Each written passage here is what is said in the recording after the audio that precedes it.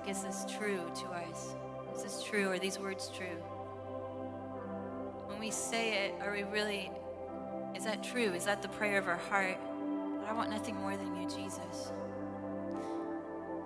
I love um, A.W. Tozer in his uh, book, The Pursuit of God, talks about how God gave us these wonderful things. They were gifts. They were, they were gifts outside of even His presence. there are gifts that He gave us. But then we turn to the things, and then we allow those to become the idols of our hearts instead of God. And then in the way that we do in our human nature, we then allow those things to take deep root in our heart and to untangle them. It's like, man, we don't want to let that go because we're afraid.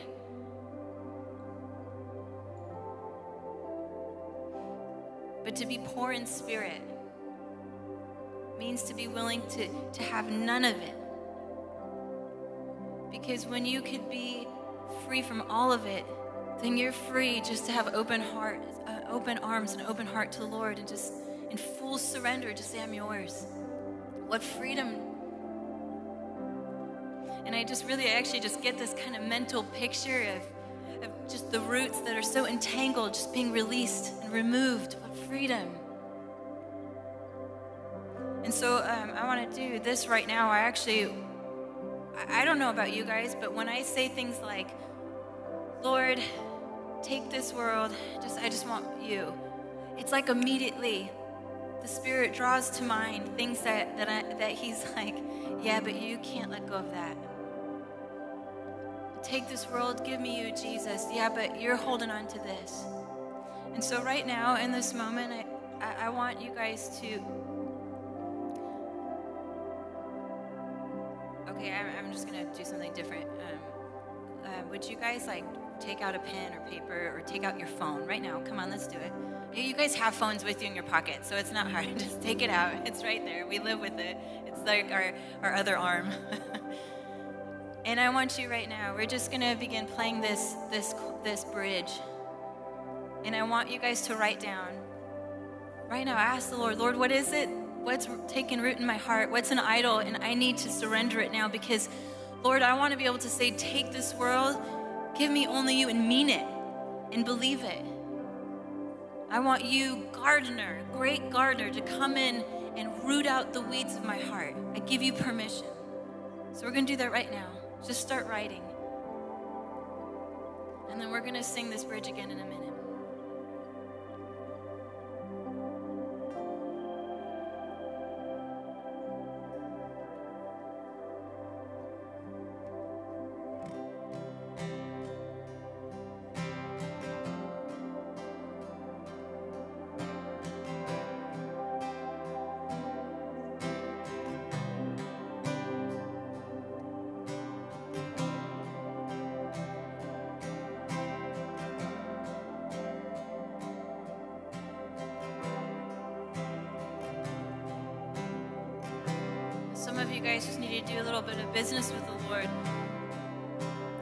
Just not let the moment pass to do that. You speak Lord to your people. Lord speak to me.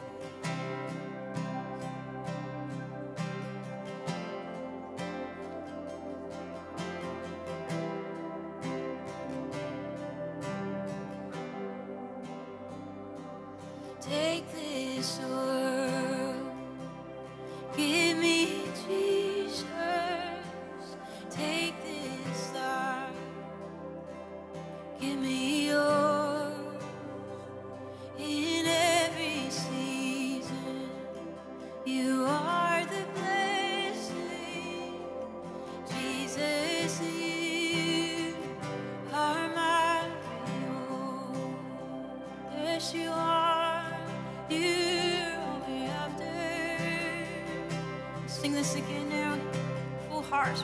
world, to me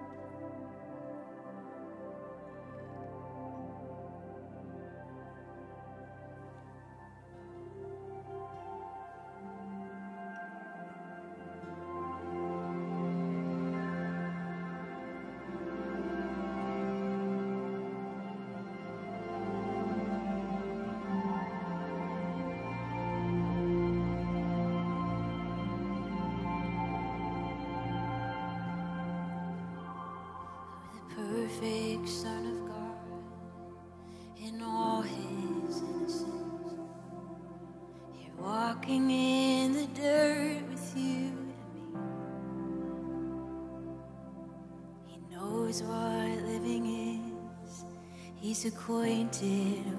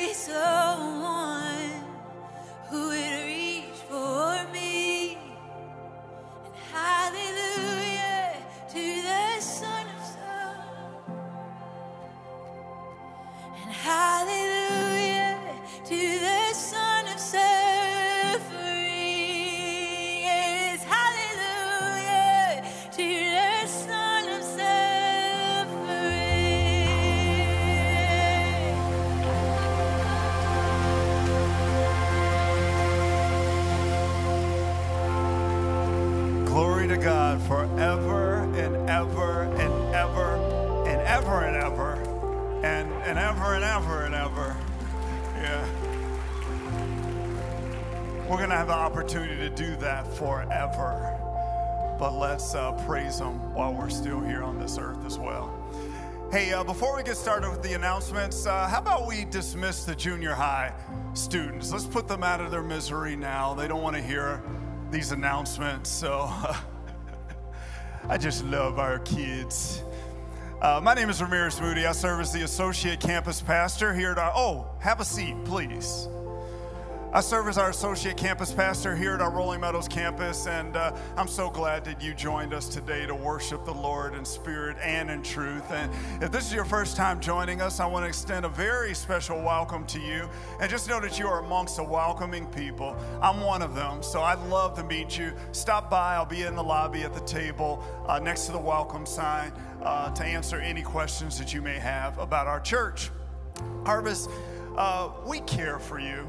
Our staff, we care, we love, and you, and we, we want to help you to grow in your relationship with Jesus Christ, and we want to help you to become a better disciple maker. And so, if you pull out your phone and check into the Harvest Bible Chapel app, you'll see that it looks a little different there's a connect card that I'd like for you to click on. And if you don't have the Harvest Bible Chapel app, just scan the QR code on the seat in the row in front of you. But this Connect card helps us to do just that. It helps us to not only know that you're here, but also learn your prayer request, but also see how we can care for you in a better way. So we want to care for you and we want to know you better. So uh, check out the Connect card there. And uh, every week that we gather, we not only get an opportunity to worship the Lord in spirit and in truth, but we also get an opportunity to worship Him through our giving. And if you look at the screen, you'll see the different opportunities that you have to give here at Harvest. In addition to that, you can drop your gift in the blue boxes as you leave the worship center today.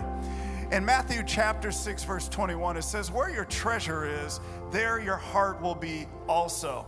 And uh, our giving really shows the condition of our heart.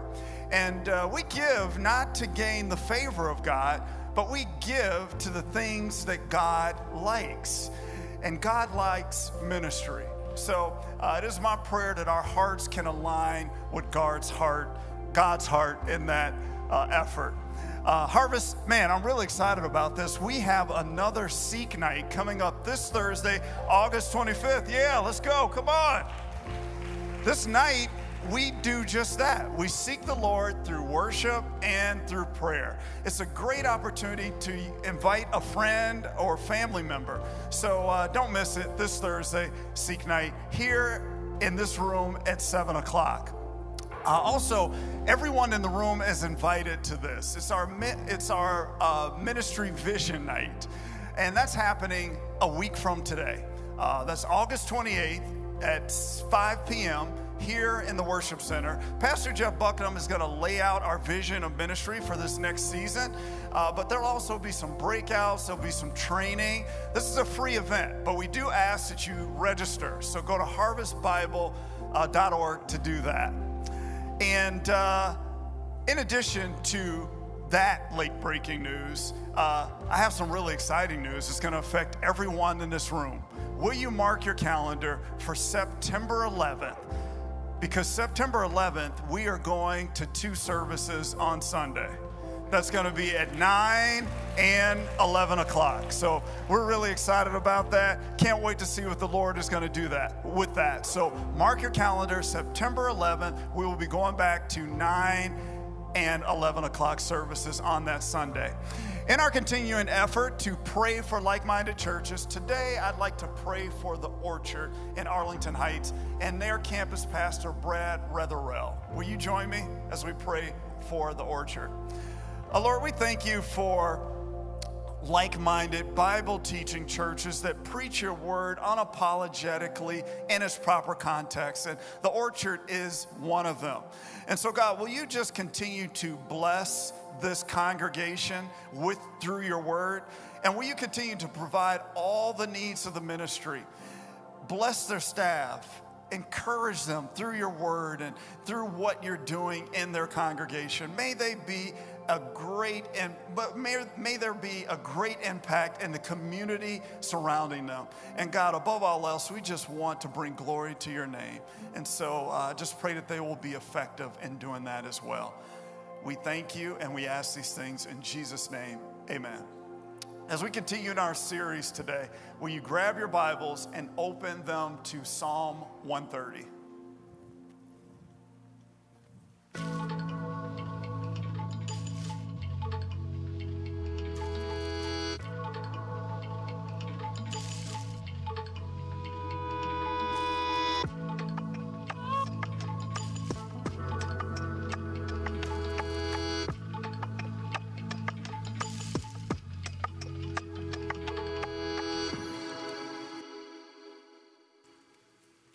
Well, hey, Harvest, so excited to be with you again. Listen, they let me come back two weeks in a row.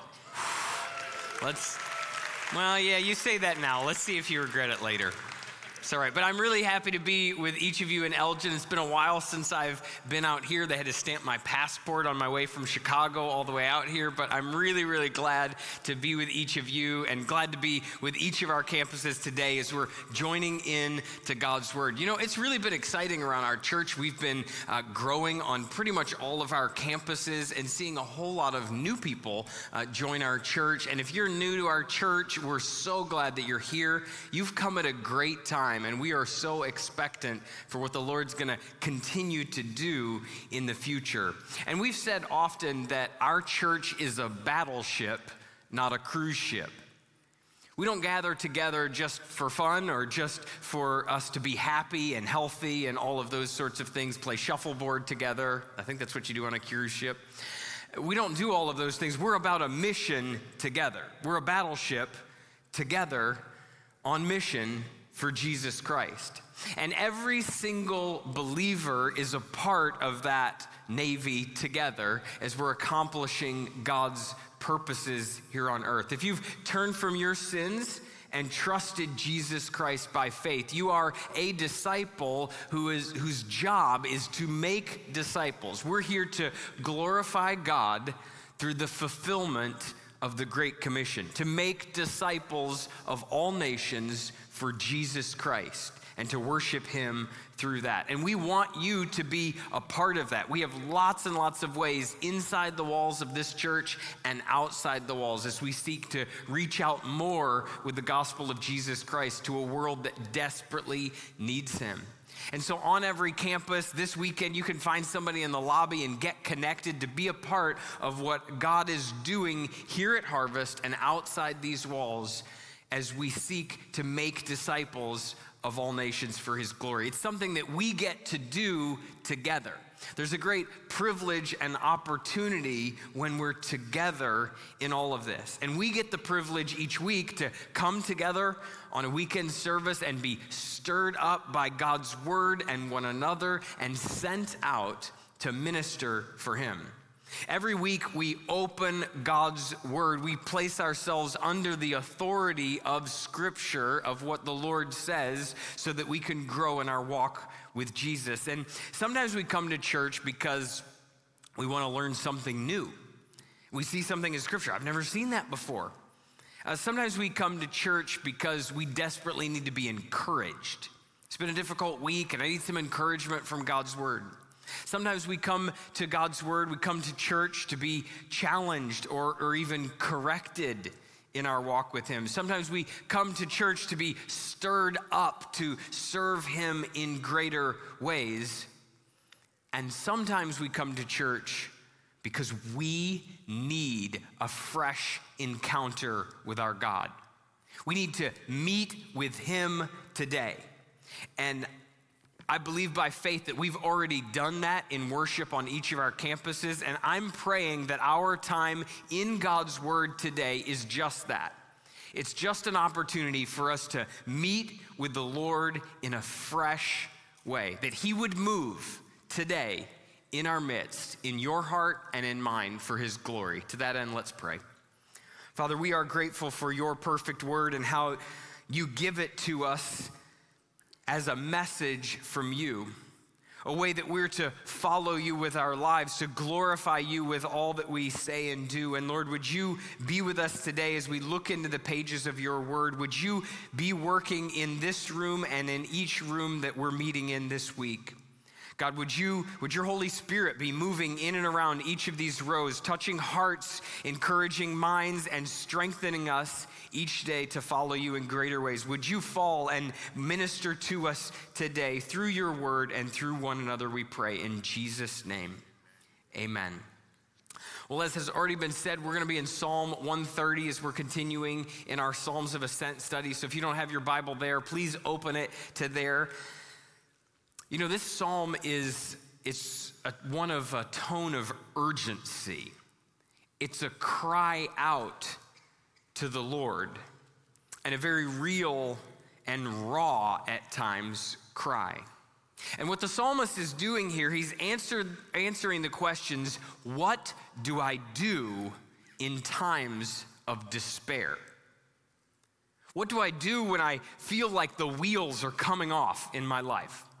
How am I supposed to live and act and think in the midst of such desperation in my life? When I feel like I'm in the depths, when there's darkness around, this psalmist gives a pattern for us to follow when we feel like everything is falling apart. So let's read it together Psalm 130. Get your eyes on a copy of God's word, or if you don't have one, you can follow along on the screen with me here. The psalmist says, Out of the depths I cry to you, O Lord. O Lord, hear my voice. Let your ears be attentive to the voice of my pleas for mercy. If you, O Lord, should mark iniquities, O Lord, who could stand?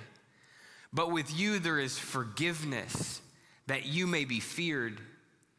I wait for the Lord. My soul waits, and in his word I hope. My soul waits for the Lord more than watchmen for the morning, more than watchmen for the morning.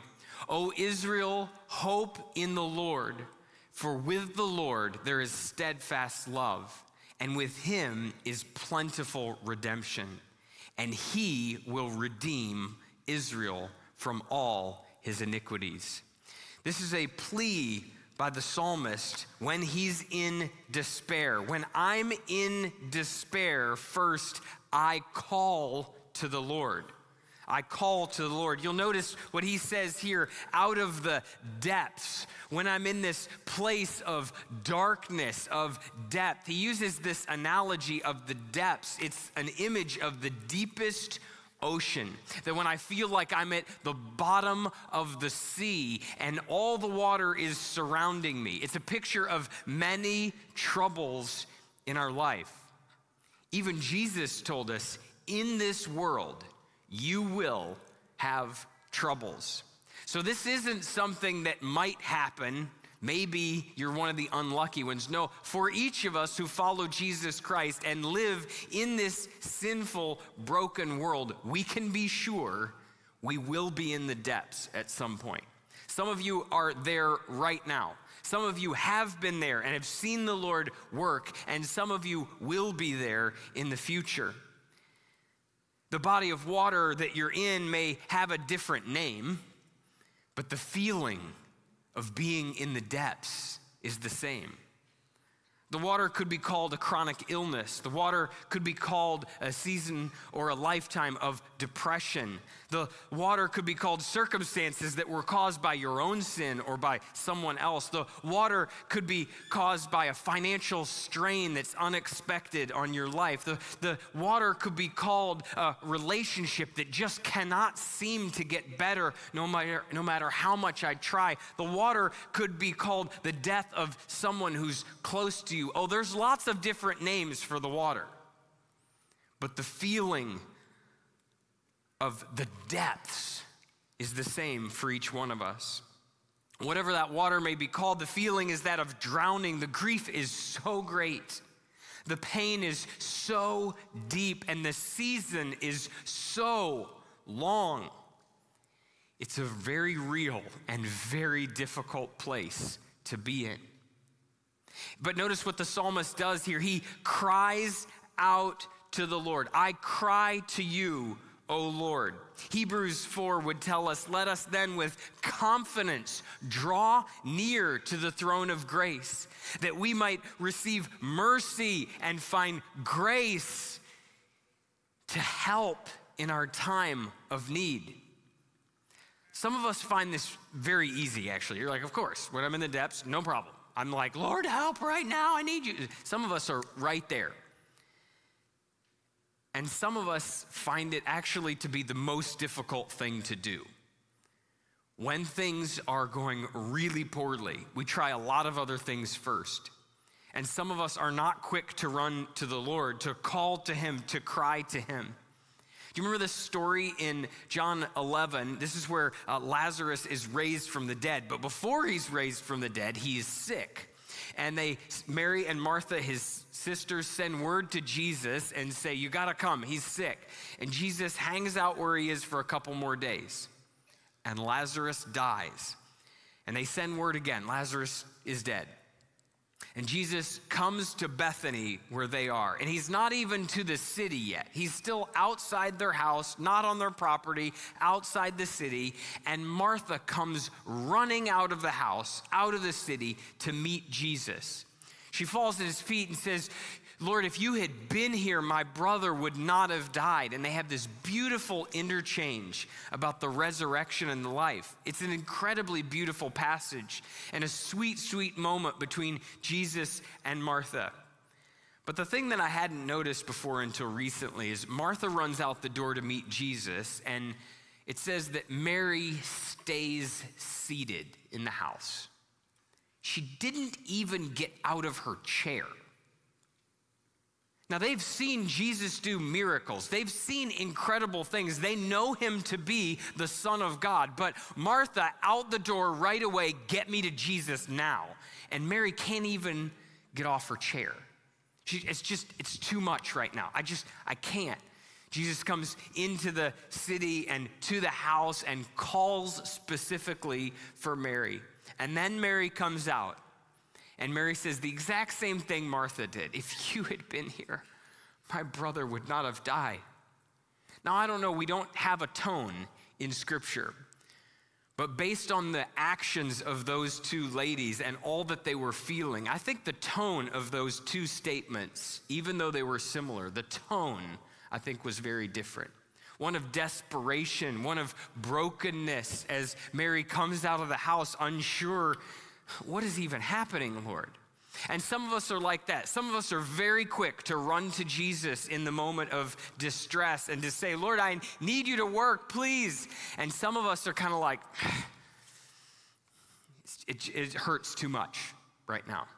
And it causes us to pull away from the Lord. But there's incredible grace of our Lord in this because he doesn't respond to Mary with any kind of shame or guilt or condemnation. He receives them both. He loves them both. He weeps with them both and ultimately answers both of their prayers. But the victory only comes with his presence. It only comes when we call out to Him. You may be quick to do that, you may be slow to do that, but it is the only way. Today, if you hear His voice, cry out to the Lord, call out to Him. Run to Jesus. Do it in your brokenness, but do it with confidence. We call out to the Lord in our season of despair. And when I'm in despair, I remember forgiveness. I remember forgiveness. He says, Out of the depths I cry to you, O Lord. O Lord, hear my voice. Let your ears be attentive to the voice of my pleas for mercy. And then he says, If you, O Lord, should mark iniquities, who could stand? But with you there is forgiveness that you may be feared. He remembers forgiveness. He says, if you were fair, everyone would be condemned. No one could stand before you, Lord. God, if you were to write down in a book all of the things that I've done, I would be condemned before you and have no right to stand before you. You see, even in the darkest times of despair, the psalmist recognizes that his greatest need is the forgiveness of his sins. That his greatest need is to remember the forgiveness that he has.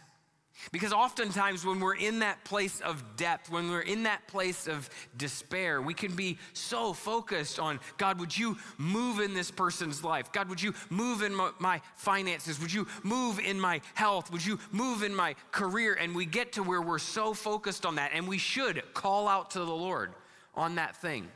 But we should never neglect the fact that our greatest need is for a Savior, and His name is Jesus Christ. And we have forgiveness by His blood because of what He has done for us.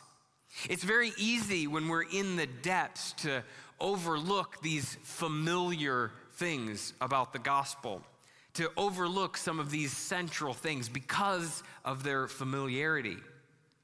Now, if I were to come to your house Monday morning and show up right as you're walking out the door to your car to go to work, and I would show up and I'd hand you a $100 bill and say, you know, this, I just wanted to bless you today. Be like, oh my goodness, this, that's amazing. I can't show up at all your houses. Sorry, that's a lot. So you'd be like, this is amazing. That, that's so kind of you. So then Tuesday rolls around. You're coming out the door to get to your car to drive to work. And I, I walk up again. Here's another $100 just, just to bless you. I just, just wanted to bless you. It's like, my goodness, two days. Uh, Wednesday, I come back. And Thursday, I come back. And for each day, while you're headed out the door to work, I hand you a $100 bill. You're like, this is amazing. This goes on for several weeks because I'm just that generous of a guy. And, and then several weeks later, you know, I, I, I had a late night on Wednesday night, and so Thursday rolls around, and I'm like, oh my goodness, and I'm kind of running late, and you're you get out the door, and where, where's Jeff? Where is he? And, and, you sit down in your car and you're like, my goodness, I'm gonna be late for work. And I run up and I'm like, I'm so sorry. I was, was running late. Here, here's your hundred dollars. Have a great day. You're like, oh, okay, thanks. You know, you drive away. So it, it happens again. And I come, you're sitting in your car like, my boss is gonna be mad. I can't, where is this guy? Where is my hundred dollars from this guy? I can't believe that he is late again. See, the familiarity of it gets us where we're so used to the gift that we forget the incredible extravagance of it. The familiarity of the gift makes you forget the grace of it. And oftentimes in our lives, especially when we go through seasons of despair and darkness, we forget because of familiarity, we forget the incredible grace that we have been given in forgiveness. The forgiveness that God promises to every person who turns from their sins and trusts Jesus Christ by faith. You have been forgiven. You've been washed clean. He's taken care of all of it. All of it has been forgiven. Don't ever miss the incredible grace of forgiveness of sins that we receive from Jesus Christ because of what he's done. Don't ever forget that he reached down and picked me up off of the mire, dead in my sins, in darkness, away from God. He reached down out of love and grace and pulled me up set me on the rock and forgave me of everything that I could have done in the, fu- in the past and anything that I could do in the future. It's all been forgiven. All of it has been cleansed. That's the measure of God's love and his faithfulness towards us. It's shown perfectly in that picture of Jesus on the cross in your place, in my place. And if he is willing to do that for me, if he is willing to forgive such great sin, I am a big bag of sin, trust me. If he is willing to forgive that great sin against him and wash me clean, he's able to take care of this thing that I have. He's able to reach down to me when I feel like I'm in the depths. When I'm in despair, remember forgiveness. And when I'm in despair, wait and trust. He says, I wait for the Lord. My soul waits, and in his word I hope. My soul waits for the Lord. Now, even I can figure out that that's a pretty important thing going on in this passage, right? Wait, wait, wait. I wait for the Lord, my soul waits, and in his word I hope. My soul waits for the Lord more than watchmen for the morning, more than watchmen for the morning. We're waiting on the Lord. And sometimes this is the most difficult thing for us to do. What does it mean to wait? Well, it means to stay in a place of expectation. It's a deep longing for the Lord to rescue us from our distress, to work. God, I'm, I'm waiting for you to do it. I have expectation that you're going to do it, and I'm going to sit right here until you do it. And it can be incredibly frustrating. I don't know anyone who loves to wait. Nobody's like, woohoo, I'm gonna get to the doctor's office early so I can sit in that room longer. Nobody thinks that. All of us hate to wait. And the doctor's office, they have a room called a what room? A waiting room. They intend to use it. They named the room that. You will be waiting. It, now, it might be a different amount of time based on the day and the schedule and all those kinds of things, but you will be waiting. You will be sitting there looking at the People's Magazine from like three years ago. You will be sitting there waiting with expectation that at some point that door is going to open and they're going to call my name and I'm going to go in there and stand on the scale and all of those sorts of things. But there's, there's a waiting that's happening. One of the most frustrating to me is on a plane um, because I, I have, like I get a headache sometimes on planes when I read. I know it's weird, but um, so I can't really read too much on a plane, and I've tried sleeping, and I'm terrible on a plane. I just and I'm not willing to pay, so I'm always like in the back in a middle seat between the two biggest dudes on the whole plane, and um, and so my whole time on a plane is this, just staring at the tray table because there's not much I can do. I'm just sitting there, but I'm waiting, trusting that the pilot is going to get me to the city that's on the ticket. That's all I can do is sit there and wait for it to happen. There's nothing I can do except sit and wait and trust. Now, waiting doesn't mean don't do anything. It, it, it doesn't mean don't get help. It doesn't mean don't gather people around you. If you're going through a difficult time, reach out to the church, reach out to your small group. You need to have people around you. You remember last week we talked about dwelling in unity. That's what this is about. Is when we're going through difficult times, have some sisters, some brothers around you who can help you through it.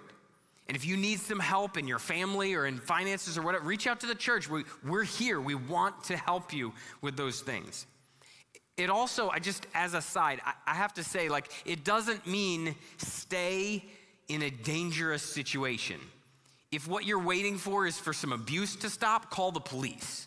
There are specific things that you can do and should do to protect yourself in things like that. That's not what this is talking about. What this is talking about is I'm not going to walk to the front of the plane and start banging on the door and be like, hey, pilot, can I help you with some of those dials in there?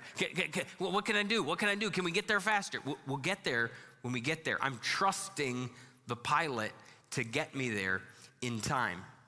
One passage that's been super helpful for me, I had a professor years ago who said, in seasons of waiting and asking the Lord, read Psalm 37 every single day. Oh my goodness. Over and over, the psalmist says, wait, trust, do what's right. Wait, trust, do what's right. And sometimes that is so hard to do. I want to go fix it myself. I want to go have that conversation with that person. I want to give them a piece of my mind. I want to go, but no, I'm waiting I'm trusting the Lord and I'm doing what's right. No matter what, I'm going to seek to do what God's word has to say. Now, we're all sinful and we all fall in many ways, but thankfully, remember, we remember forgiveness. There's no condemnation for those who are in Jesus Christ. And out of that place, I'm seeking as I wait and trust the Lord to do everything I can to follow what God's word has to say and I'm trusting Him with the results. When, it, when I don't feel like it, when it doesn't make sense, when, well, that person's not doing what God's word has to say. Wait, trust, do what's right. Here in Psalm 130, the psalmist says, We hope in His word, we trust in God's word. I have found in seasons of waiting, in periods of my life that, have, that I've felt in the depths, the most faith stirring thing that I have been able to do is to saturate myself with God's word. Just into it, into it, into it over and over. To find those places where there are promises and commitments and faithfulness of God through the pages of His Word. What I would commend to you is in your Bible, underline it, put a star next to it, highlight it in a specific color or something like that. It's orange in my Bible. And I'm telling you, when you have a season where you're in distress and you're like, Lord, I need you now, to be able to pick up your Bible off of the desk and be like, there, orange, boom, is so helpful to saturate yourself. Not with what I see in the world, not with what my friends at work tell me, but with what God says about it. I'm hoping in His Word. I can't, because I don't have enough time, go through every passage that has ever been helpful to me in this. I can't give you every orange one. But what I'd like to do is give you a couple of them. So you got to hang with me for a minute. We're going to look at God's word a whole bunch right here because I'm believing that God's word is the thing that stirs our faith. So I want to look at a couple passages of scripture. These are some that are highlighted in orange in my Bible that are so helpful. You have kept count of my tossings, put my tears in your bottle. Are they not in your book? All of those sleepless nights, those times at three in the morning when you've been awake, Lord, I don't know what to do about this. You felt anxiety and fear about what's happening and you're tossing. He's kept count of your tossing. Every sleepless night, God sees that.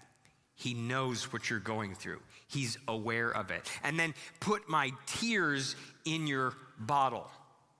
Every stoplight that you've sat at, weeping over the trial that you're going through.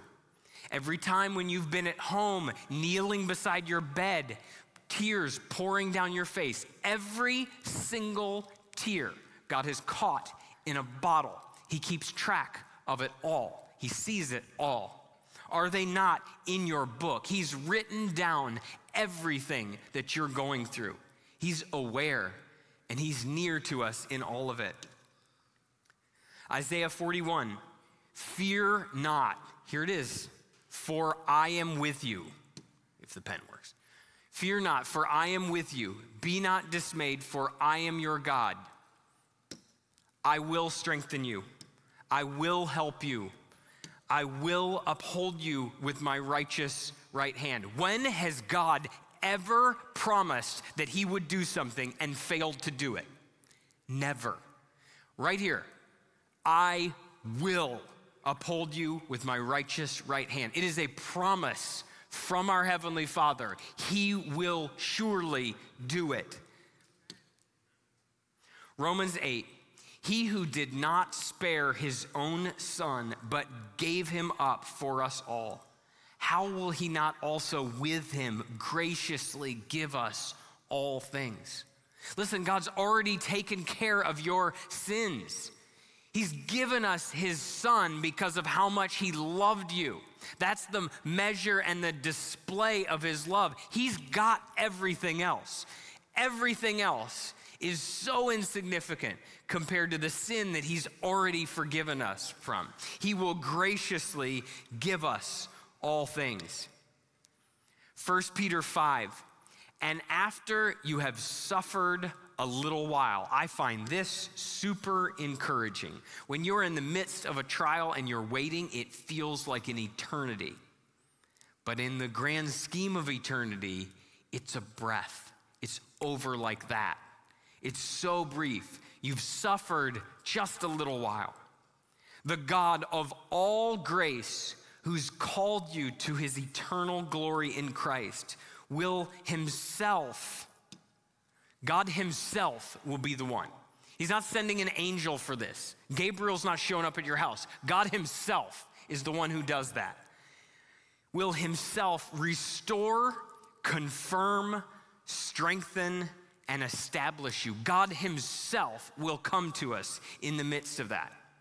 Incredible truths of God's Word. You still with me? Okay, good, because these are important. I got two more. Psalm 27 I believe that I shall look upon the goodness of the Lord. When? In the land of the living.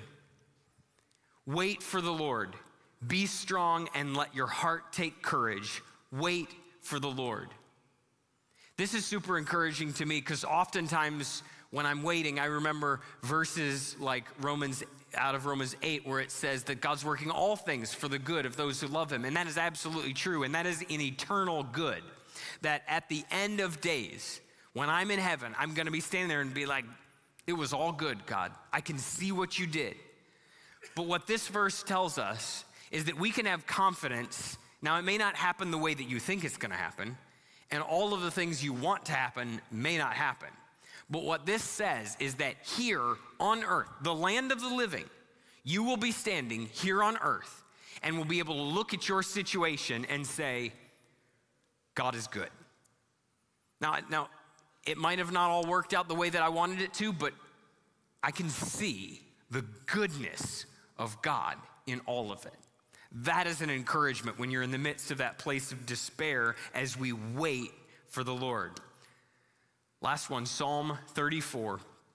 When the righteous cries for help, the Lord hears and he delivers them out of all their troubles. The Lord is near to the brokenhearted and he saves the crushed in spirit. Many are the afflictions of the righteous, but the Lord delivers him out of them all. Every single thing that's happening in your life, God sees. God is near to us in the midst of it, and God is working through it in all things for His glory and for our good. Listen, if you're in a season of despair, a season of waiting for the Lord, get your Bible open. These alone are the words of eternal life. These alone are the words that we can find security in during the midst of a storm. And as we wait for the Lord, we trust in His word. It says, I hope in your word, back in Psalm 130. It's the same word, hope, trust. The idea here is that it, it is absolute certainty that it's going to happen. It's an assumption that it's going to come to pass. We're going to get to the place that's on the ticket. I don't know when, I don't know how long it's going to take. We might have to take a detour around Atlanta because there's some weather. I don't know. But we're going to get to the place that's on the ticket. I can hope in what God says is true. And we can find security in that. And notice he gives, back to our text, all the way back there. He gives this as an example. I'm, my soul waits for the Lord more than watchmen for the morning. It's, it's the idea of these watchmen who are standing on the walls of a city, looking out into the darkness. Now, remember, um, there's no electricity. So they're looking out across the countryside to total darkness, just what the moon and the stars can provide. That's it. And they're standing there all night long. They don't have an iPhone they can just play around on. They don't have a watch they can look to and be like, oh, it's, you know, three more hours till the sun comes up. They, they don't know. They're just sitting there all night, watching, waiting. Now, how sure is it that the morning is coming? Pretty darn sure. It happened again this morning. I'm pretty sure it will happen tomorrow. They can be certain it's coming. Now, they don't know how long. And there are periods of the night that feel like, oh, I don't know if the dawn is ever going to get here. And that's how it feels to us many times. But the dawn is coming with certainty. We can trust in what he said. The waiting isn't hopeless. We can trust, we can hope in His word. Lord, I don't see it right now, and at times it feels like I may not ever see it. But I believe that it's coming like the dawn is. If any of you have ever uh, run a marathon, you're crazy. Um, but if any of you have ever, run a marathon or a long distance race, you know you get to that point in the race where you're like, is the finish line ever gonna get here? My goodness, what mile are we at? How, 21, that's it? Oh my goodness. And it just feels like it's never gonna get here. Now it's coming. It's still 26.2 miles. It's not getting longer. It feels like it, but it's not getting there. But it feels like, just like these watchmen, the dawn, will it ever come? When I'm in that season of distress, that place of despair, I'm longing with expectation, but I have hope and I have trust because I know that the dawn is coming. Now, it's really interesting to me that, so we've got this whole psalm, and the only phrase in the whole psalm that actually is repeated, the only line that's repeated is this one. This is not a typo with our slides. It's actually, there's two of them. It says, My soul waits for the Lord more than watchmen for the morning, more than watchmen for the morning. And honestly, I used to think that was a little weird. Like, really? Out of, I mean, there's a lot of great lines in this, a lot of things that I could think to repeat. Uh, plentiful redemption. I mean, you know, uh, if, who could, st- but with you there's forgiveness. But with you there's. But it doesn't repeat any of those. The thing that's repeated is this line. And I, it's, it's been so weird to me for years. And then I went through a long trial where I was waiting and waiting and waiting.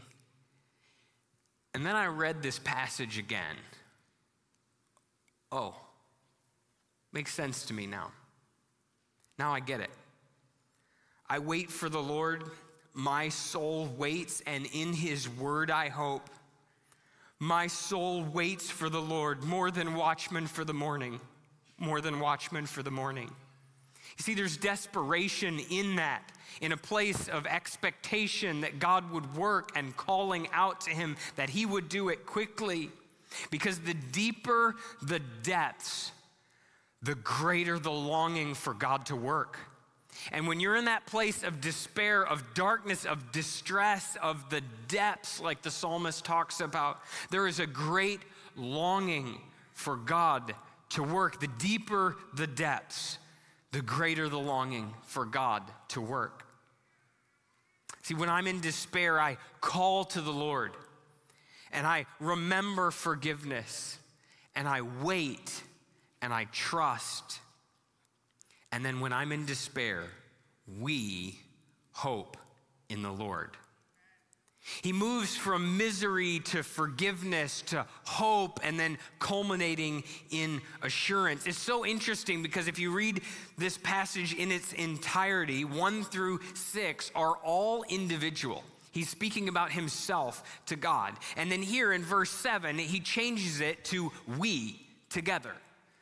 O Israel, Hope in the Lord, for with the Lord there is steadfast love, and with him is plentiful redemption, and he will redeem Israel from all his iniquities. He turns from just talking about himself to talking to the whole community. He has experienced God working in the waiting so much that he turns to his sisters and his brothers in the community to encourage them along in unity in a period of deep distress and deep despair.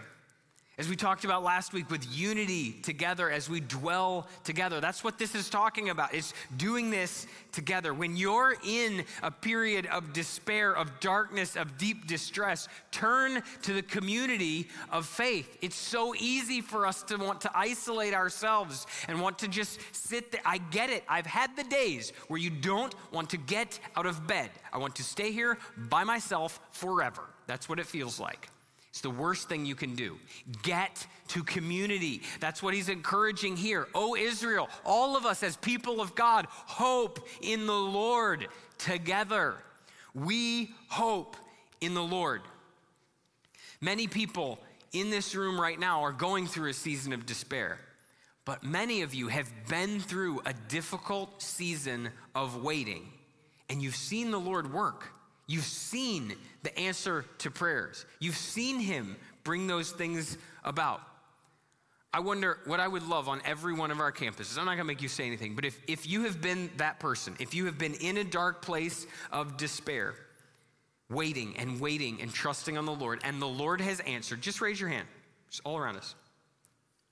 Look around every campus at the people who have seen God work time and time again. And for those of us who are in a period of despair, let that be an encouragement.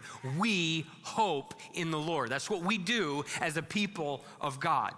There are people all around you who've been in that place of despair. They've been in that darkness. They've been in the depths, not seeing a way out, waiting for the Lord to work, waiting and waiting and waiting. I promise you, that flight took a whole lot longer than they wanted. And every one of those hands that went up are times that God reached down and answered that prayer. And I have found in my own life, and as I have talked to believers time and time and time again, that when God puts you through a season of waiting, when He puts you through a season of despair that is ongoing, when His answer comes, it almost never looks like what I thought it would look like, but it is always better than what I thought it would be. It is always immeasurably more than I could ask or imagine. Every time.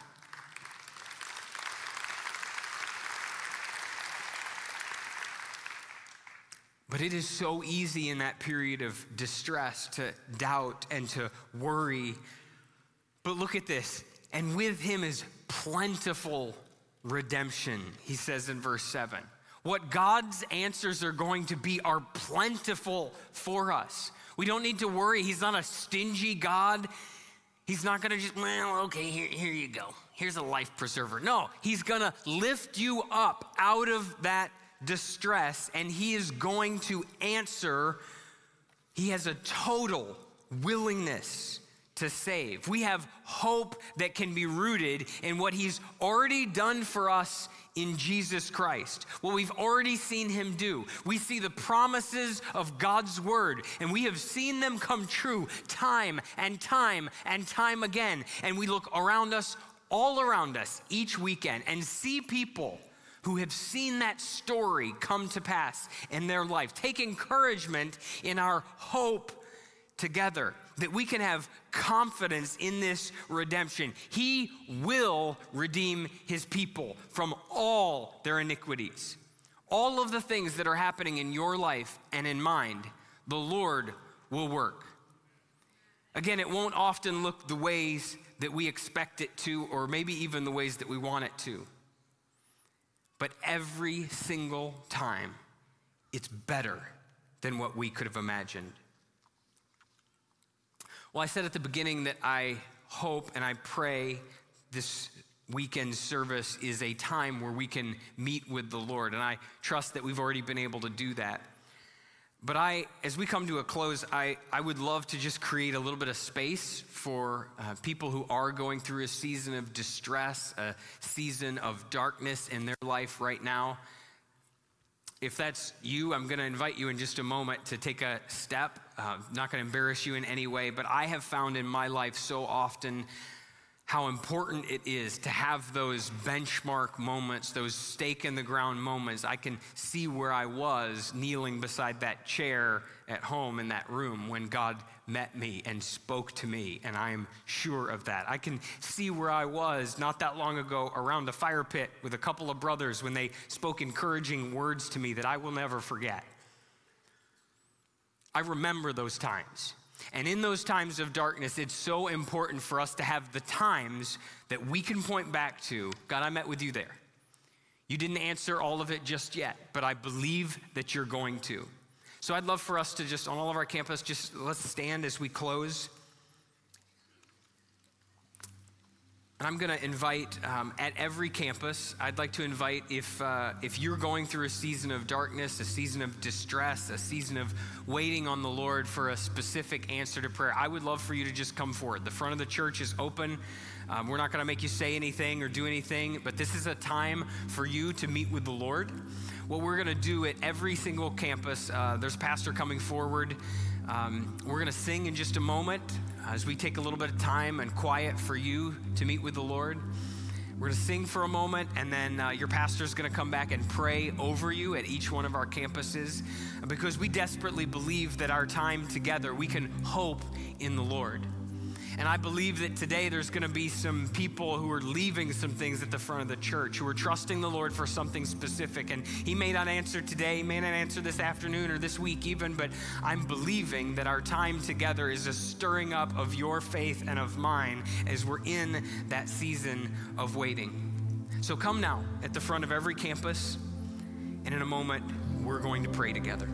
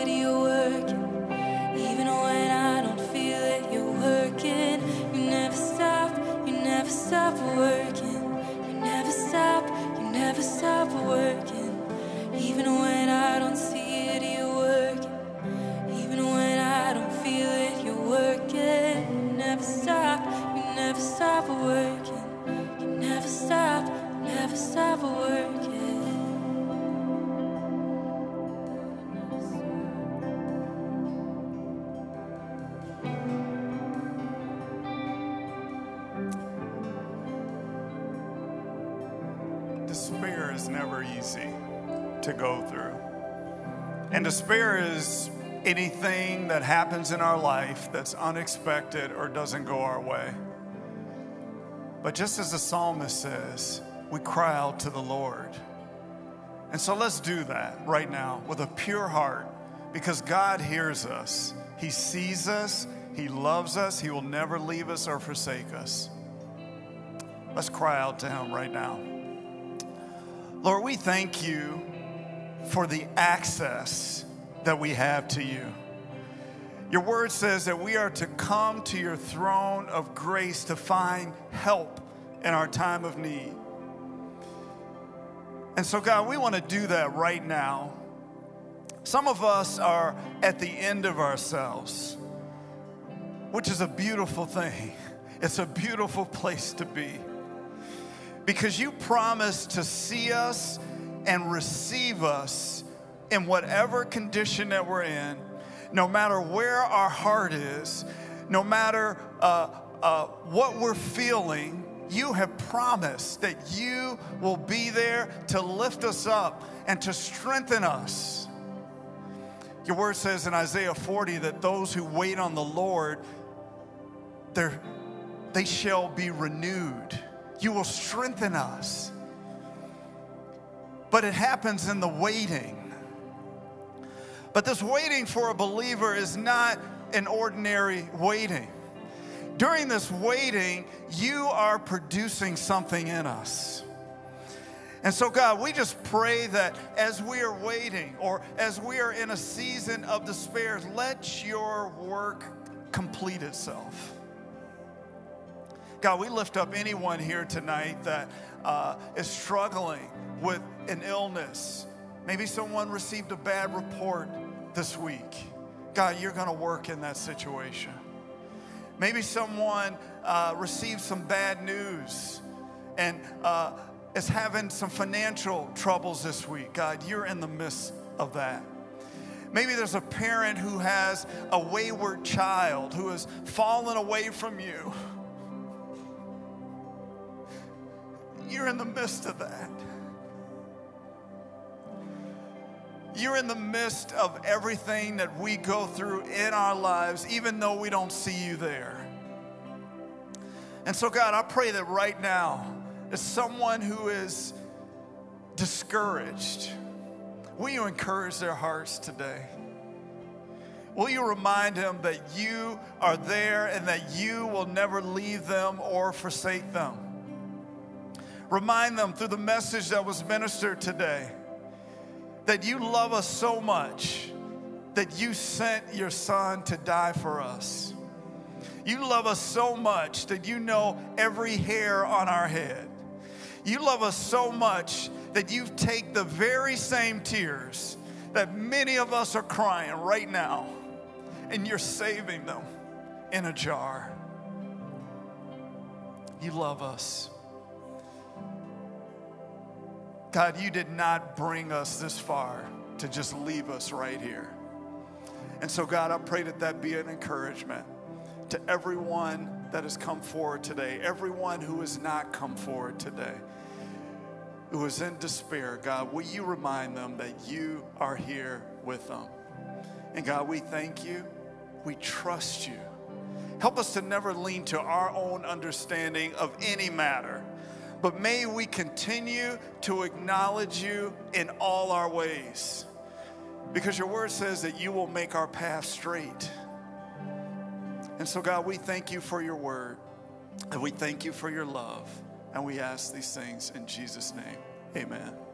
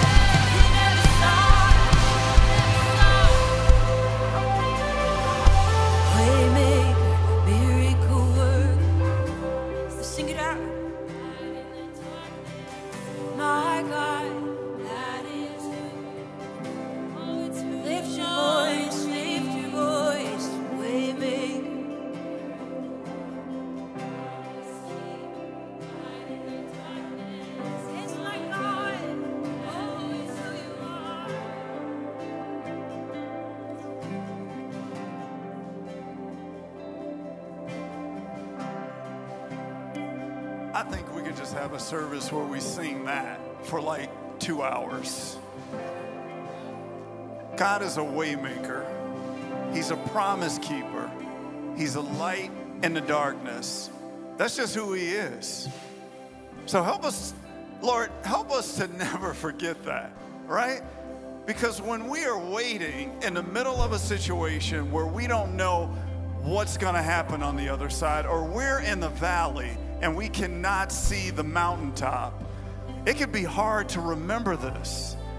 But we can sing this to ourselves. And I believe that when we sing this to ourselves, all anxiety goes away. All worry and concern goes away because of who God is.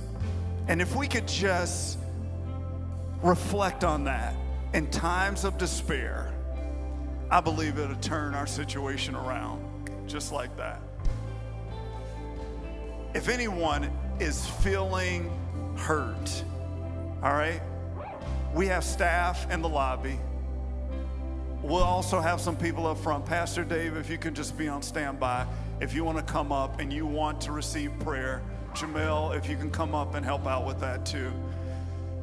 But let's not leave here the way that we came. All right? After hearing this message, after having this wonderful time in worship, let's let God continue to do the work that He wants to do in our hearts so that we can do ministry for Him and continue to bring glory to His name. Amen? Amen. All right. Um, oh man, such a great service. okay, so, but we have a few things in the lobby, all right? Uh, we have an ice cream social out there. You can register for Awana. Awana's coming back. You can sign up for our volleyball league. You can sign up to serve. All right, if this is your first time joining us, I would love to meet you. I'll be at the welcome table. But as we go out on mission for Lord for the Lord this week, remember that you are loved.